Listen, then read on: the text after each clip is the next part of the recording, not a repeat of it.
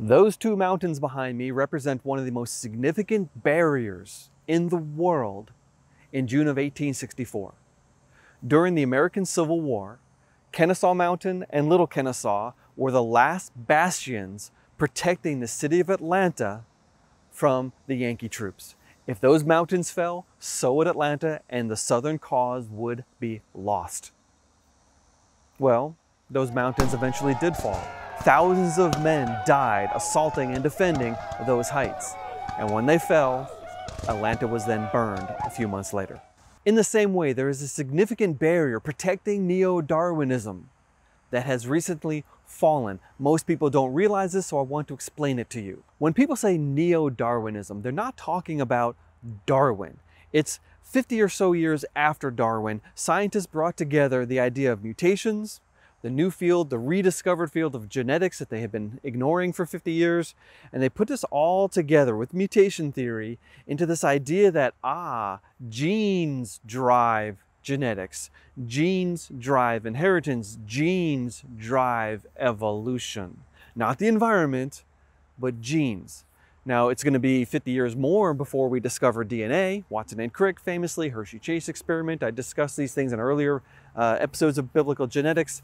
But this whole big ball of wax called the Neo-Darwinian synthesis is resting upon some very fundamental assumptions that have recently been questioned in the scientific literature.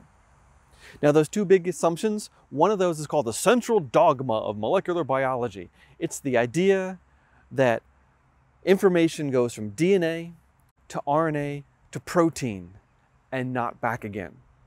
Therefore, the inheritance of DNA is the thing that evolution depends upon. There's a one-way transfer of information from DNA to protein, and that's it. The second big assumption is called the Weismann barrier, named after August Weismann, a very, very important, very famous German scientist in the late 1800s. And he first realized that there's a difference between the somatic body cells and the reproductive cells. And the reproductive cells have a different path than the body. And the body is not inherited, only the reproductive cells are inherited. Now, very, very interestingly, Charles Darwin himself was not a neo-Darwinist. Oh no, he was Lamarckian. He believed in the inheritance of acquired characteristics.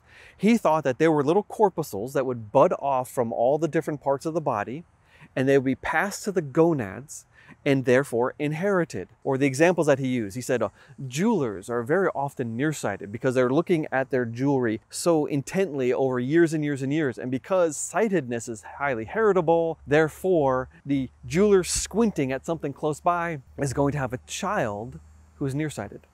Or the counterexample, sailors. They're on their ships, they're looking at the horizon all the time. They're seeing these distant vistas. Sailors tend to be farsighted, like me.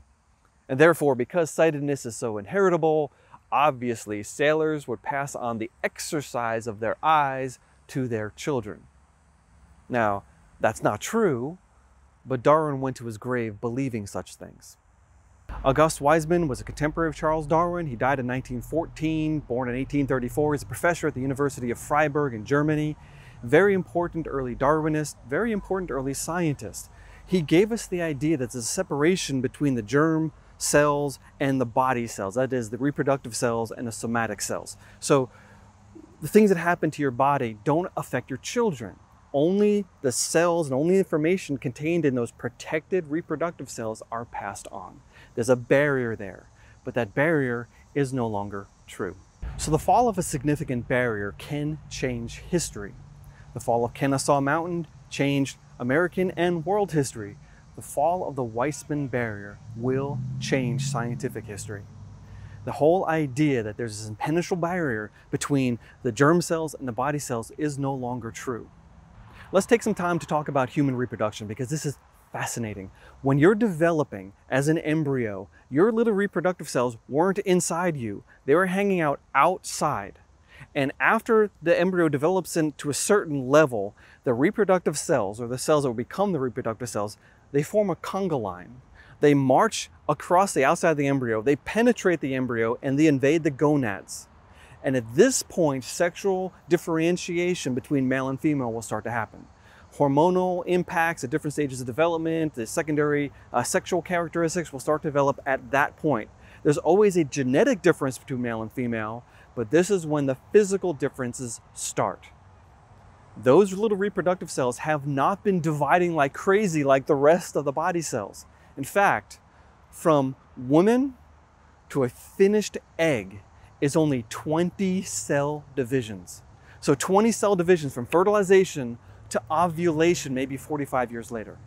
So if you think about it, if there's only 20 cell divisions from one generation to the next in the female line, from Eve to modern people, I don't know, 6,000 years divided by 30, about 200 generations, 200 times 20 has only been about 4,000 cellular divisions in the female line between Eve and all modern people. That's why we're still alive. That's why genetic entropy and mutation hasn't destroyed us because the germ cells are separated and protected over long periods of time. That's not true in the males, however. There's about 30 cell divisions in the male, and then at puberty, uh, those things will start to divide about 23 times a year. And then there's five more chromosomal duplications before the sperm are fully mature. So we're talking about from Adam to today's people, maybe 100,000 uh, uh, chromosomal duplications. And every chromosomal duplication is a possibility of more mutations being added because the little things that copy the DNA aren't perfect. So the Weismann barrier is critically important, but we can also see that there should be an erosion of the information content over time because of cellular division. But God orchestrated this so that we don't reproduce from skin cells. Uh, my skin cells here, I'm 52 years old, these things have gone through so many chromosomal duplications that I have basically every possible mutation imaginable in my skin. It's a good thing we don't reproduce from skin cells. Our other cells are protected. There are several ways in which the Weismann barrier is known to have been breached. We just learned about these things recently. The first way, and this is profound, as sperm are developing in the epididymis, they actively absorb RNA from the body. Now what does RNA do in the cell? It controls production of protein. We also have RNA interference where if you have two different RNAs, one that's floating in the cytoplasm, one being manufactured from the DNA, they'll compete with each other for attention. We also have RNA interference and like the RNA can bind to another RNA or even bind to the DNA, prevent a gene from being produced. So RNA in the cell has a profound influence on the phenotype, the action and the look, the behavior of an organism, the phenotype. This is a design mechanism. The active absorption of RNA by the sperm is a design mechanism to affect change later on. Another way that we know the barrier has been breached is that we now understand that RNA is actively converted into DNA in the cell. During the HIV epidemic in the 80s, it's the first time the public became aware of something called reverse transcriptase, which takes the RNA from the virus, converts it into DNA, and HIV can stick its genome into human genomes. Therefore, the virus actively changes the genome. That's reverse. It's not supposed to happen. That's breaching the barrier. Other viruses are also known to do this. In our cells, there are multiple little machines called polymerases.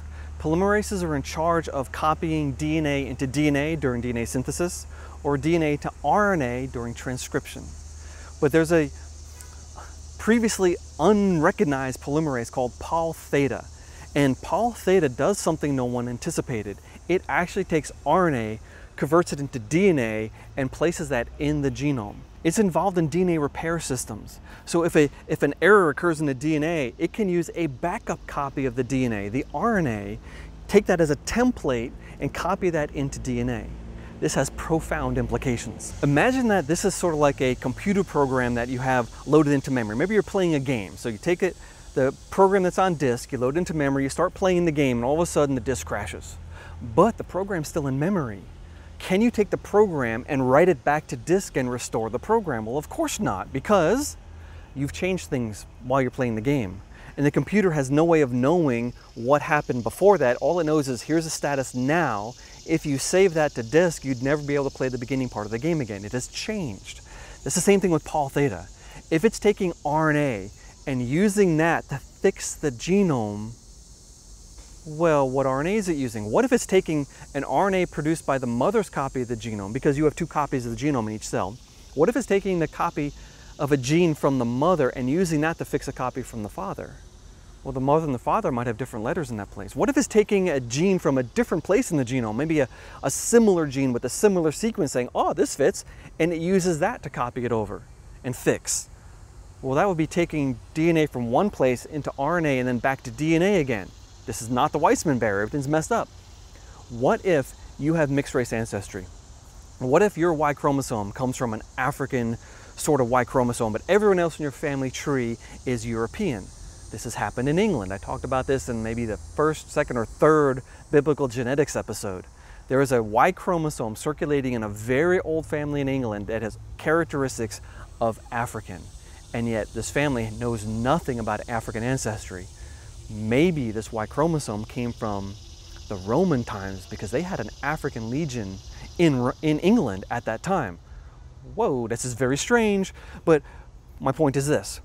If that African Y chromosome is surrounded by European genetics, any repairing on that African Y chromosome is going to be done according to the European standard. In the same way, if you had a maybe a European mitochondria in an otherwise African genetic background, well, there's pseudo copies of those chromosomal, those mitochondrial chromosomal genes in the genome. What if DNA repair is happening in the mitochondria that matches the African letters, not the European letters? Well, that means that you can't look at a mitochondria and say, oh, it has these letters, therefore it has that ancestry.